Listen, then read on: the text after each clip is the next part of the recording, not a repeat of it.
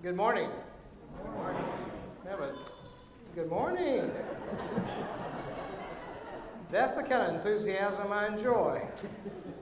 Uh, certainly, the bulletin looks like a book this morning, so kind of try to juggle all of your papers together. You'll hear more about all these inserts in a few minutes. I welcome all of you to worship service this morning, especially those visiting with us. It's a very special welcome to you.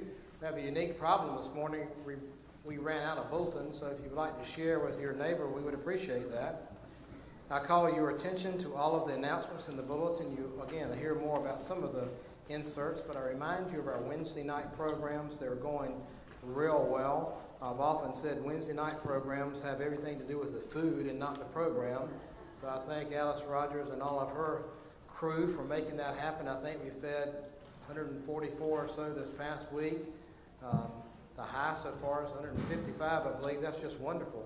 So come be a part of that time together, that fellowship time, and, and also to hear um, our good friend Allison Ashmore from, from camp. Also, if you're interested in hearing more information about a possible Presbyterian heritage trip to Scotland, there's a legal pad in the hallway. You can sign up. If you've already called in to sign up, you don't have to do so again. We're just trying to see if we have interest for that trip. Jim and I have been numerous times to, to Scotland and Ireland, as well as the Holy Land and Greece and Turkey, and we're used to traveling, and hopefully we can take 25 or 30 of, of, of you over there to, to really experience our Presbyterian heritage on the ground of Scotland. I believe that may be all of the announcements or concerns or celebrations. We'll get to those in a minute. But now we have several minutes for stewardship. Mr. Mike Thomas. Thank you, Mike.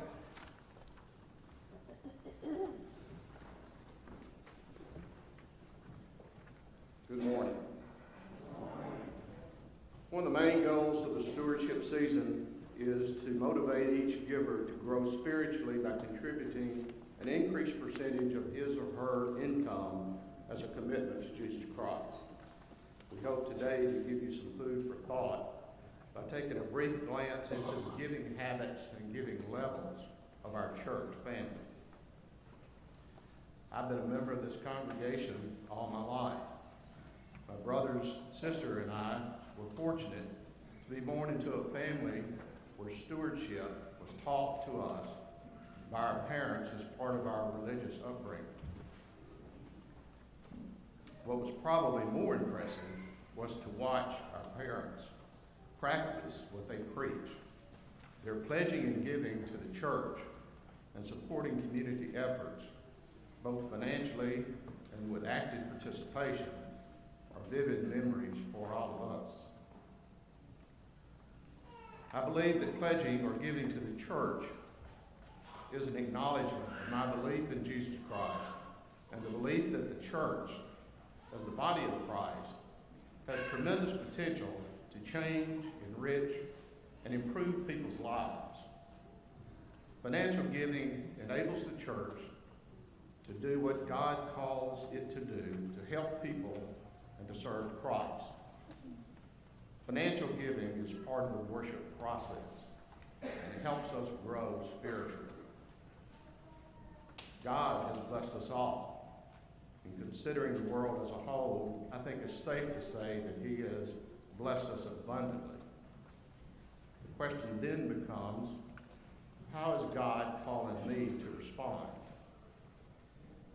As I mentioned earlier, we'll take a look at the giving levels of our congregation. In your bulletin, you should have a sheet like this, stair-step weekly giving chart. Uh, I'm going to give you some numbers uh, about our congregation.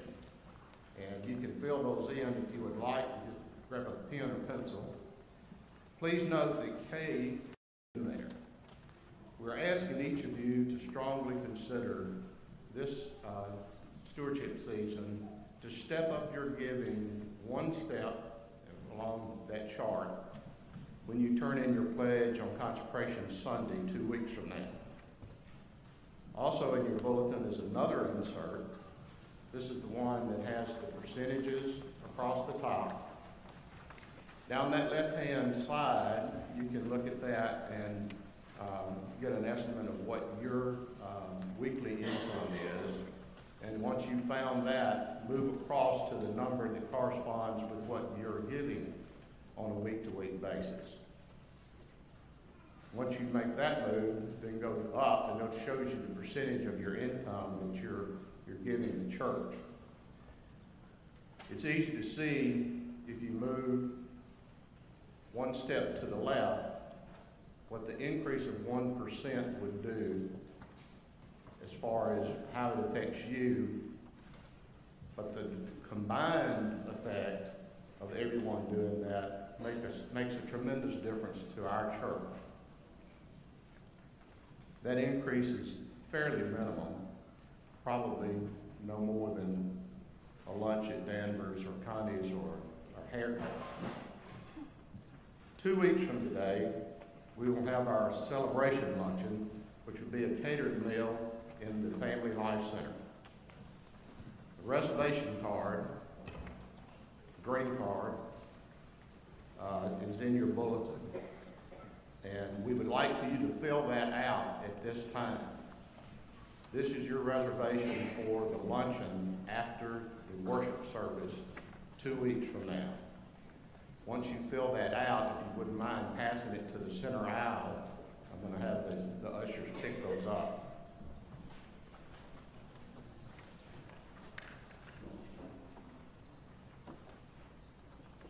Our goal is to have every member attend, so if we don't get a reservation card from you, you'll probably be contacted within the next week. At the service prior to the luncheon is when we will complete our commitment forms for the year 2018. So please give this prayerful consideration before that date. Thank you.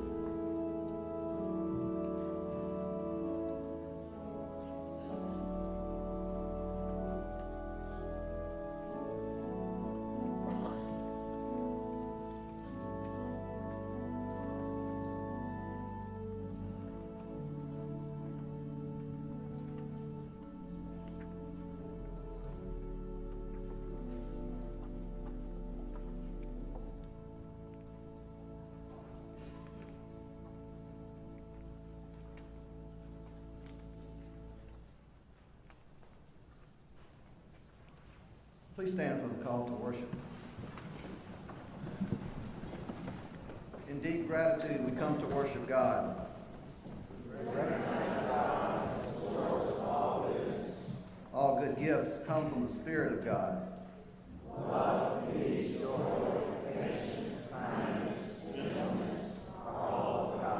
We come with grateful hearts, not for things, but for who God is.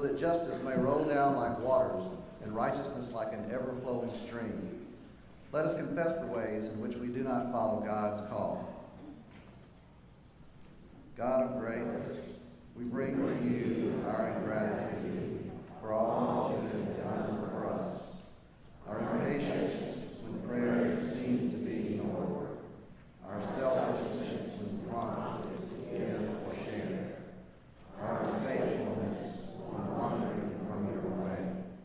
We ask for your forgiveness through Jesus Christ, who gave all, that we might learn to do likewise.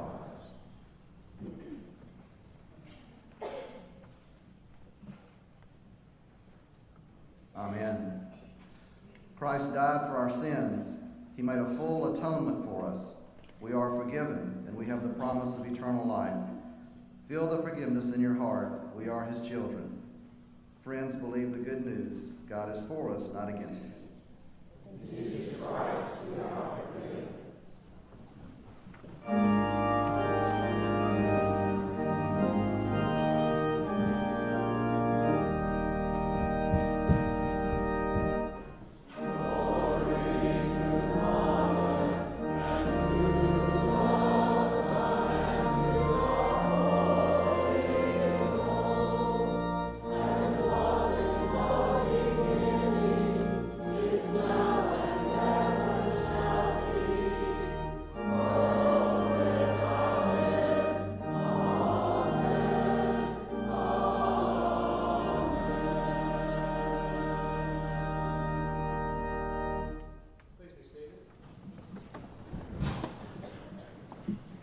This time, I invite the young people to please come forward for the children's moment.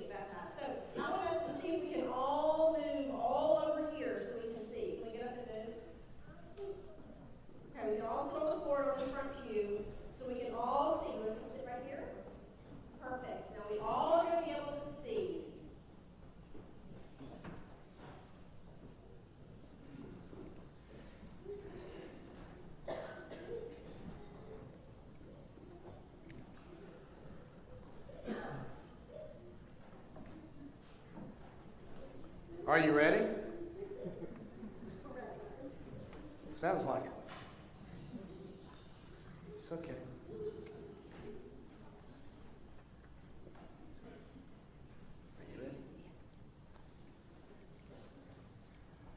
Let's listen carefully to these words concerning baptism.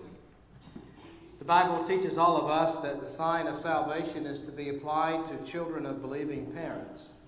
In the Old Testament, circumcision was that sign. In the New Testament, baptism is the sign. The baptism of our children symbolizes the reality that they are indeed set apart in the sight of God. Baptism is the first step toward full membership in the Church of Jesus Christ.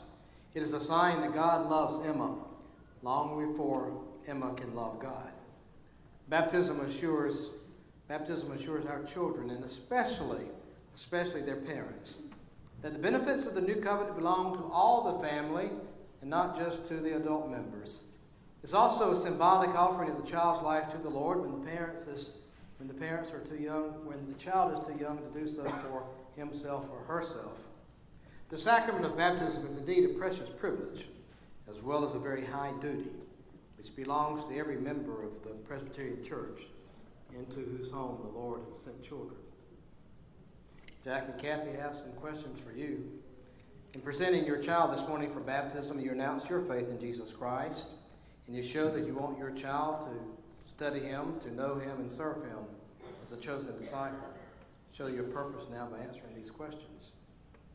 Do you reaffirm your own faith in Jesus Christ as Lord and Savior? Do you? Do you trust in Him? Do you trust in Him? Do you? Do you intend for your children to be His disciples, obey His word, and to show His love? Do you?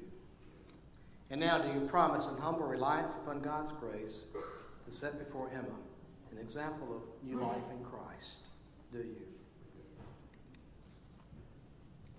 On behalf of the session, I present Emma Catherine Nunley for baptism. Answer the questions.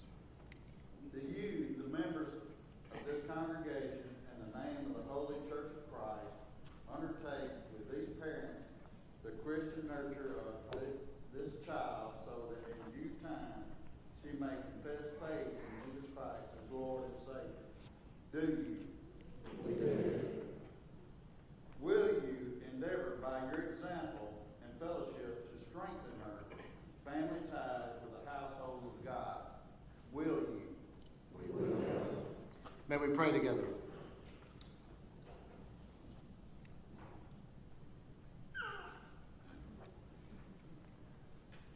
Ever loving God, in your mercy, promise to be not only our God, but also the God of our children.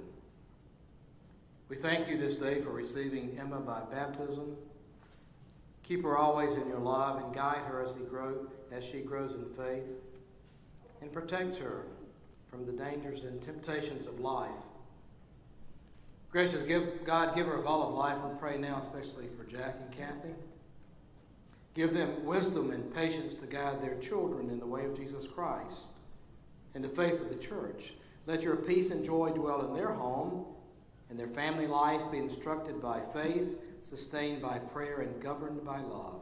Strengthen them in their own baptism, then they, that they may serve you faithfully in the name of Jesus Christ, our one Lord and Savior. Amen. What is the child's Christian name?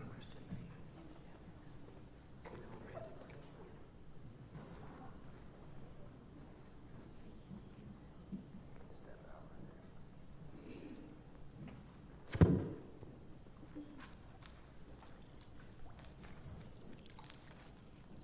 Emma Catherine Nunley, child of God, child of the covenant.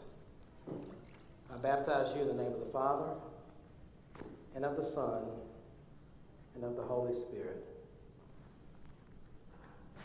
Amen.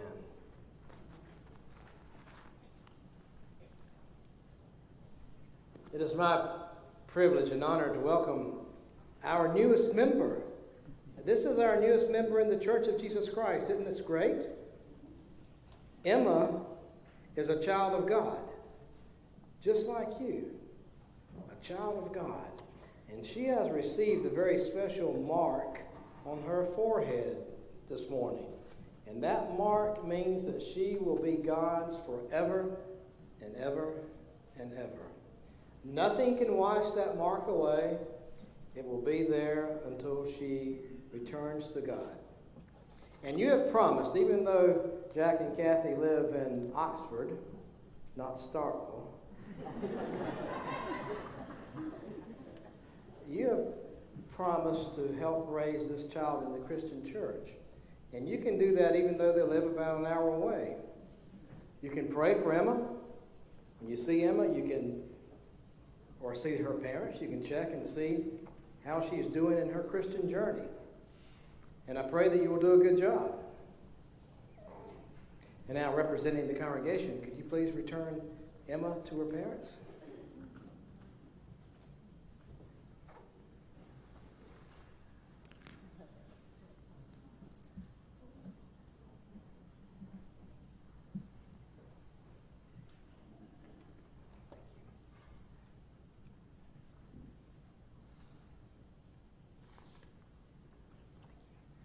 We have something new in your bulletin as we celebrate baptism. It's an, it's an affirmation of faith, congregational response from the French Reformed Church, part of, of our tradition as Presbyterians. May we say what we believe using this congregational response. Do I need to take her back? Emma, for you, Jesus Christ came into the world. For you, he went through the agony of Gethsemane darkness of Calvary. For you he triumphed over death. For you, little child, even though you do not know it. This is what we believe. We love God because he first loved us. Welcome to the family of faith. Amen. You may be seated.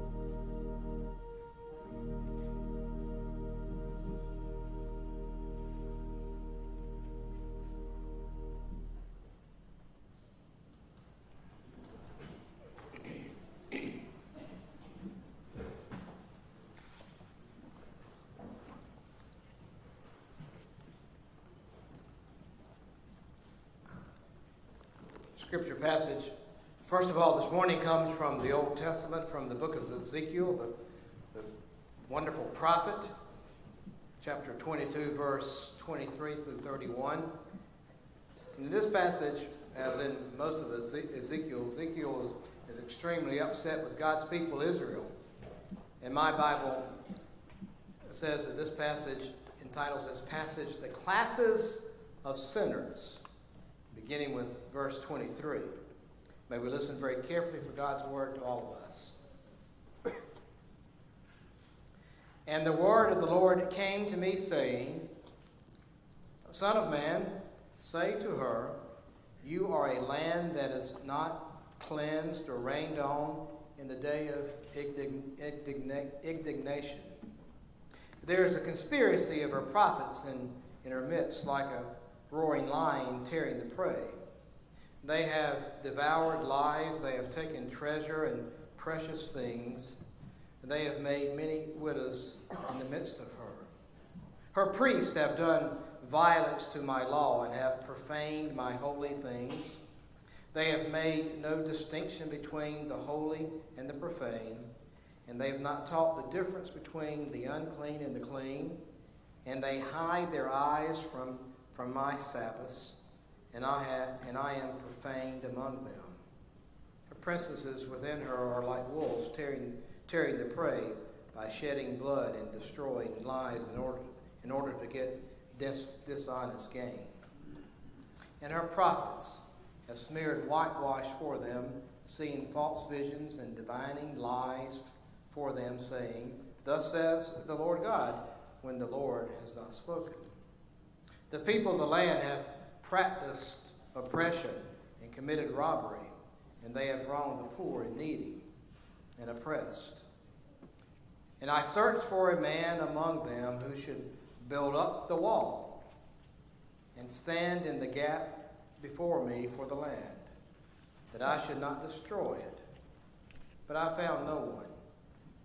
Thus I have poured out my indignation on them. I have consumed them with fire of my wrath, the fire of my wrath. Their way I have brought upon their heads, declares the Lord God. And now turn with me to Matthew chapter 6, verse 19 through 21.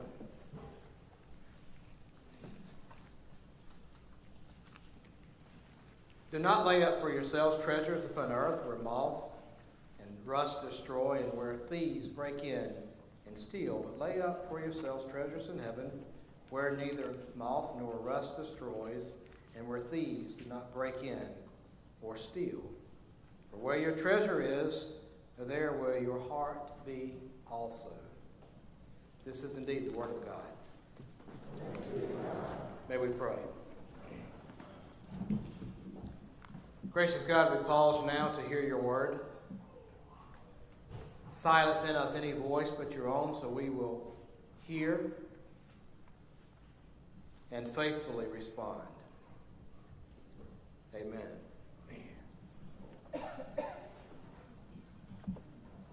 Today is the second Sunday in October. The weather is supposed to be what? Cooler. The leaves should be changing colors soon. Football season for some of us, thank the good Lord, is halfway over. And in just about three or four weeks, I guess it's just about a month away, we will roll the clocks back, right? And it is stewardship season. Aren't you thrilled? And sure as God made little green apples, we're going to talk about money here in the church house. And oddly enough, I look forward to this time of the year, to the revelation of how you and I will open ourselves up to God's service. But I realize that this season doesn't always excite everyone. It's the time of the year when the pastor's own son doesn't really care what daddy's preaching on. I was talking to our son yesterday. We were talking about football. It was a good day for us as a Gamecock. We are talking about his new house, and then he asked me what I was preaching on today. I said money, and he hung up on me.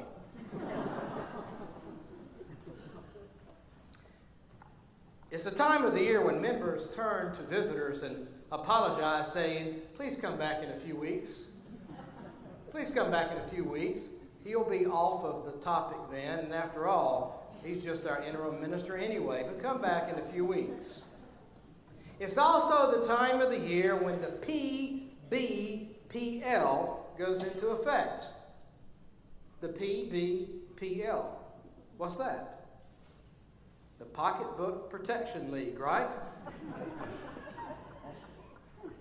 you know what? This makes the 30th time, the 30th time I have struck up the band for the annual stewardship shuffle.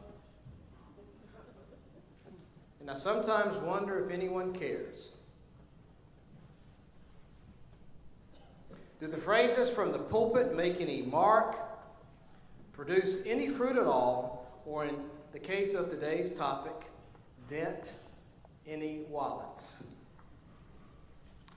In a church bulletin, these words appeared The Lord loves a cheerful giver, but he also accepts from a grouch.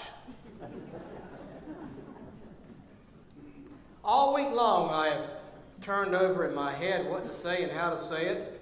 And all week long, all week long, a little voice echoed in my mind and asked, Does it matter? Does it matter? You know, it can prove a very frustrating thing to preach the gospel, but I know from experience, as you do, it's a far more difficult thing, task, to live the gospel. You need to understand something this morning. I am wrestling with the same questions that trouble you. Even as I speak, I'm trying to decide what our family will give to the Church of Jesus Christ this year. And yes, preachers do tithe. How much should I give to the church? It's a struggle. But it really shouldn't be a struggle. You know, each week we face a different endeavor together. Last week we talked about my friend Thomas and his exclusion from the Church of Jesus Christ. Two weeks ago we chatted about what our calling should be as Christians in our culture today. And today's battlefield happens to involve our Christian use of money. Jesus talked about money more than he talked about heaven and hell. Did you know that? 11 of the 39 parables that Jesus told deal with money. 11 out of 39. One out of seven verses, one out of every seven verses in the Gospel of Luke deals with finances. And I guess what I'm trying to say this morning is that preachers and pewsters are not adversaries. I'm not, not up here trying to take something away from you. I stand in an attempt to lead all of us toward a better understanding of how we might serve God. So let's look at this money thing together. Society as a whole doesn't look too good, does it? Political leaders routinely betray trust neglect responsibility, and abuse influence. Well known religious leaders fall in disgrace, the victims of greed and a lust for power.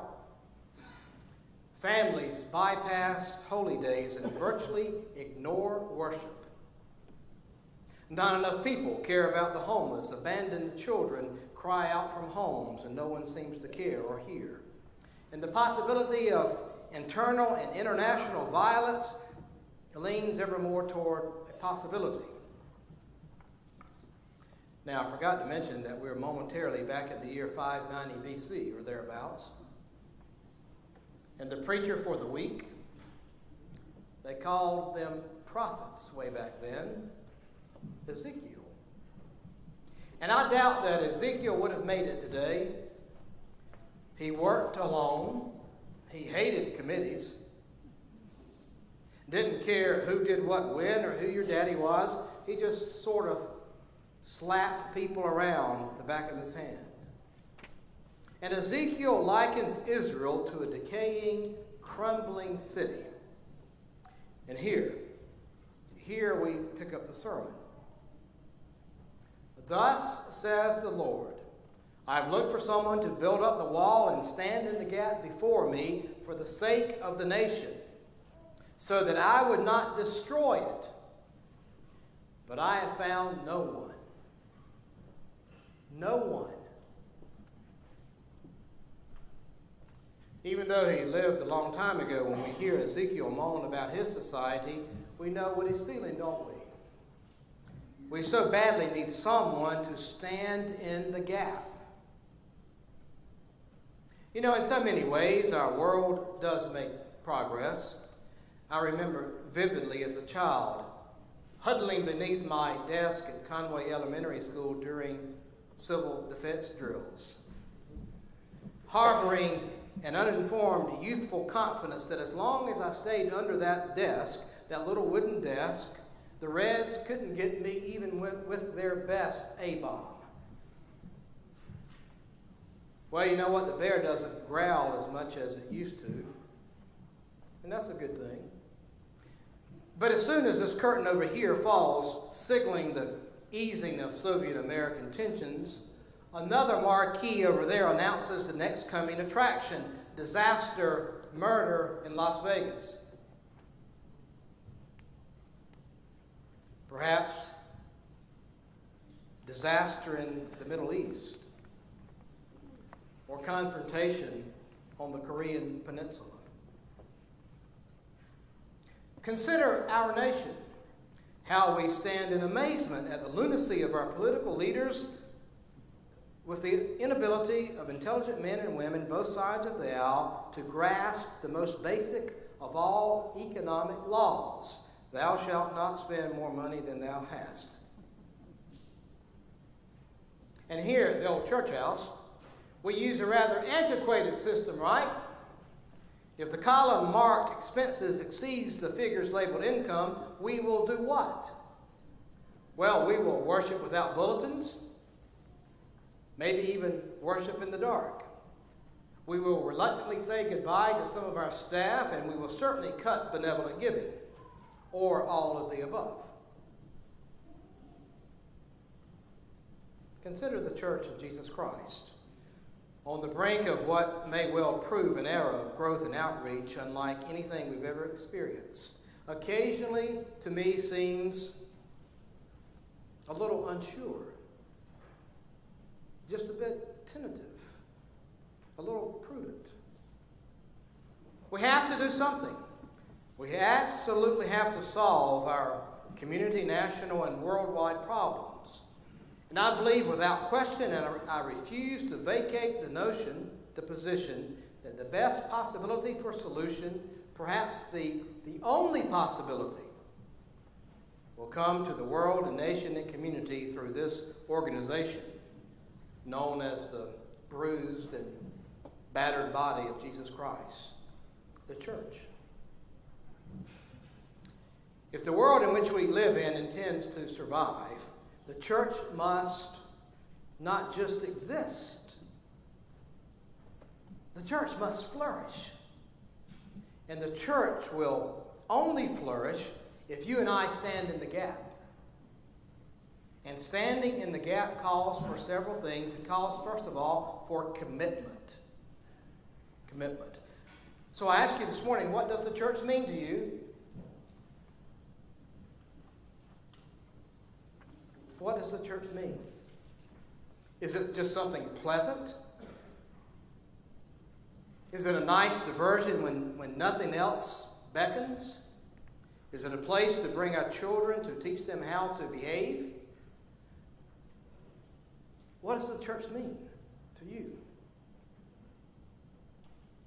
General William Booth, founder of the Salvation Army, was asked the secret of his amazing commitment to Jesus Christ.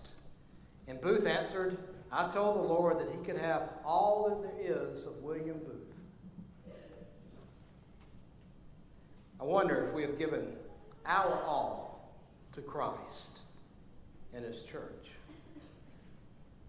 Standing in the gap also requires conviction, commitment, and then conviction. I used to be a boxing fan years ago. I just loved it. Don't really care much about it these days. It's just different. One of my favorites was Evander Holyfield. On October 25th, 1990, he became the heavyweight champion of the world.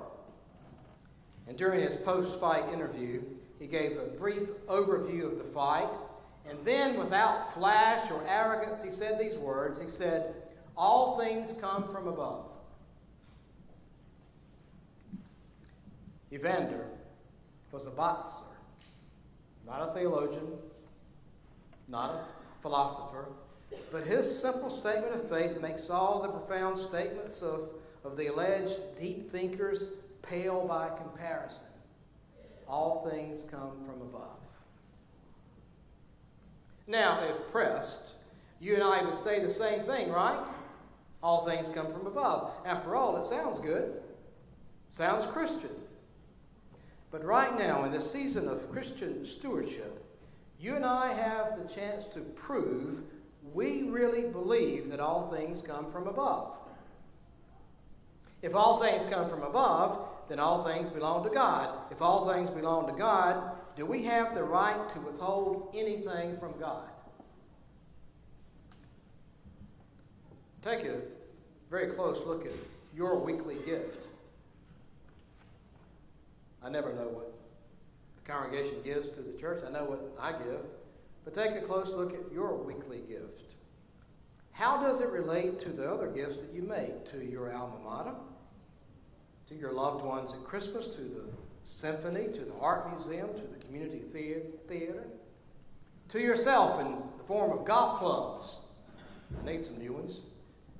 Trips, choice seats at sporting events, that special party you want to have to show off the house or, or to show off your daughter or to show off the new wallpaper. I know we don't mean to, but most of us will give more consideration to picking out our next suit than we will to our financial gift to the Church of Jesus Christ. You know, the time has come to make a serious endorsement to Christ to put our money where our faith is, and thereby take a place standing in the gap. And standing in the gap offers no options. You know, it can become a frightening thing to determine how much I really love the Lord.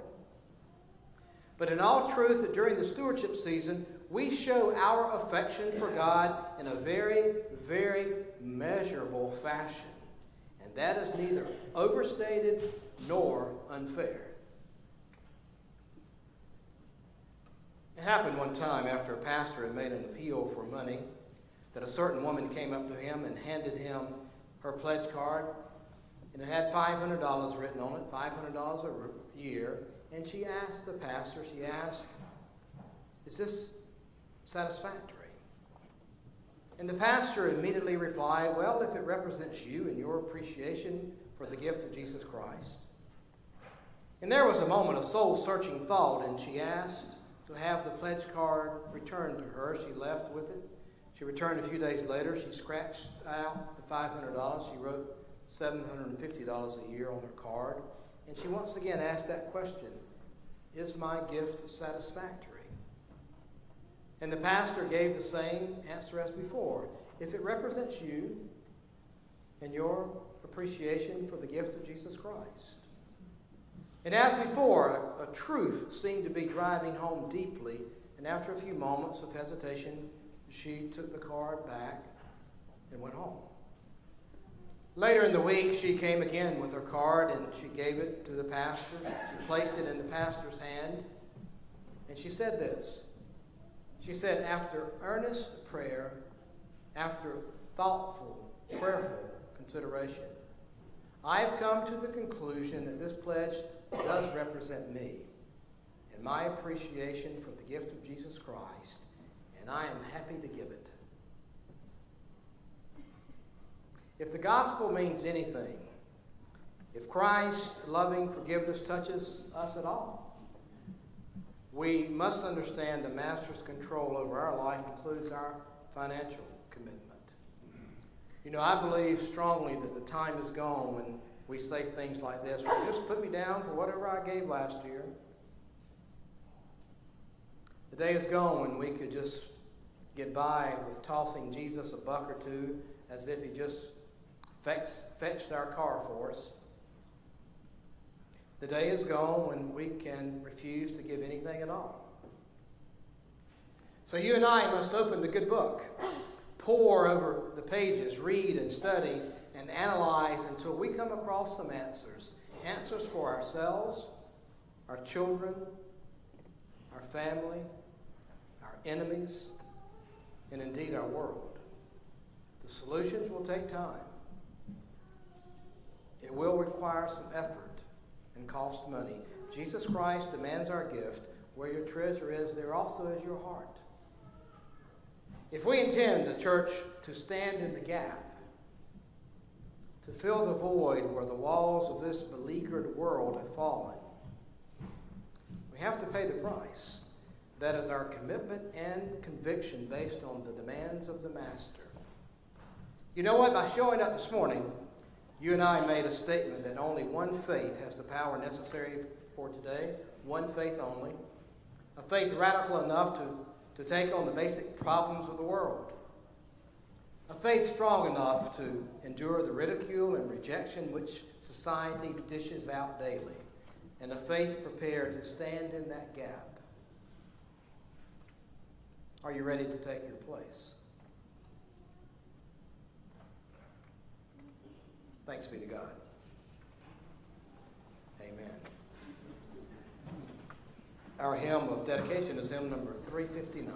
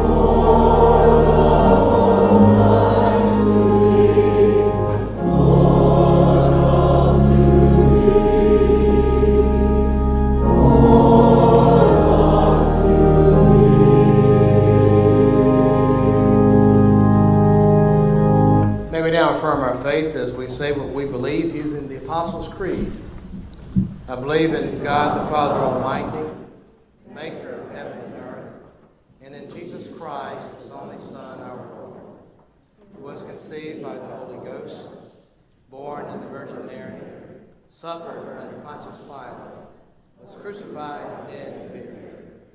He descended into hell. The third day he rose again from the dead. He ascended into heaven and sitteth on the right hand of God the Father Almighty. From thence you shall come to judge the quick and the dead. I believe in the Holy Ghost, the holy Catholic Church communion of saints, the forgiveness of sins, the resurrection of the body, and the life everlasting. Amen. Please be seated. I have to give some credit for this sermon I preached to a dear friend of mine, Art Fogarty, who was my summer intern supervisor some 33 years ago. Reverend Fogarty probably taught me more about preaching, believe it or not. I'm sure you probably say, no, he didn't teach you anything about it, than any professor ever had in seminary. He taught me about timing, he taught me about topics. He said, never worry about preaching about finances in church because that's who Jesus was and that's what we need to do. So I give him a great deal of credit for this sermon this morning. Not many prayer concerns this morning. That's a good thing for this church, and maybe some that I just not aware of. Julie Seiler's home after her brief stay in the hospital. Please remember, remember her in your prayers. Also, those who are grieving and still terribly confused about the Las Vegas shooting. Also, those who are experiencing heartache because of now three hurricanes that have hit our country this past past few weeks, past month. Any prayer concerns? I'm not aware of any. Perhaps you have some. Also, please note today uh, we'll begin something I think used to be a tradition here years ago. We'll have a, a choral amen. So after the benediction, just don't rush out. Just hang around for maybe 36 seconds and listen to the choral amen, please.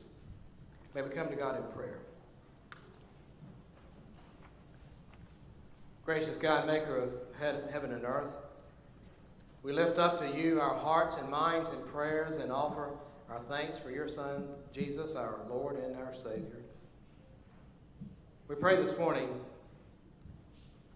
for you to deliver us from everything that prevents us from experiencing your grace, hearing your call, and singing your song. Free us from feelings of bitterness toward those who have hurt us. Free us from, or free us for, forgiveness and reconciliation. Free us from the burdens of the past and, and the fears of the future that keep us from, from knowing what it means to be fully alive right now. Keep us connected to you. And help us to be agents of your healing law for those whose relationships are disintegrating and whose lives are in disarray. Keep us from inconsiderate acts, harmful words, and premature judgments. And never let us forget the ones whom the world has forgotten the powerless, the poor, the lonely, the lost, the dying, and the disenfranchised, the anxious, and the abused. Oh God, be the source of strength and hope and comfort to all who, who call upon you in faith. We pray that you will turn our tragedies into comedies, gift us with silence amid the noise, hope amid the heartache, assurance amid the insecurity, and peace amid the panic, and laughter amid the tears. And we pray all these things in the name of Jesus Christ, our one Lord and Savior, who taught us all to pray, saying, Our Father, who art in heaven, hallowed be thy name. Thy will be done, on earth as it is in heaven. Give us this day our daily bread, and forgive us our debts we forgive our debtors. And lead us not into temptation, but deliver us from evil. For thine is the kingdom, and the power, and the glory forever. Amen. And now, as we bring our gifts to God, let us listen to these words. We confess our faith by what we say, we confess our faith by what we do, where we go, what we think, and we also profess our faith with what we give. May we bring our gifts to God.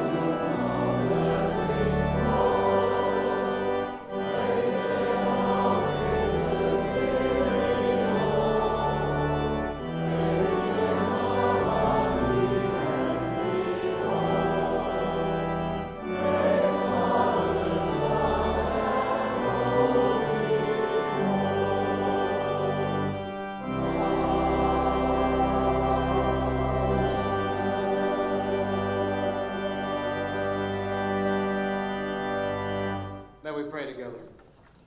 Gracious God, you call us to let go of the things we cling to and step out in faith, trusting in your love and provision. Give us courage to step out boldly, to plant our small seeds generously and without fear. Use our gifts to accomplish more than we could possibly imagine, so that through us your kingdom. As it is in heaven. Amen. Our closing hymn this morning is hymn number 538.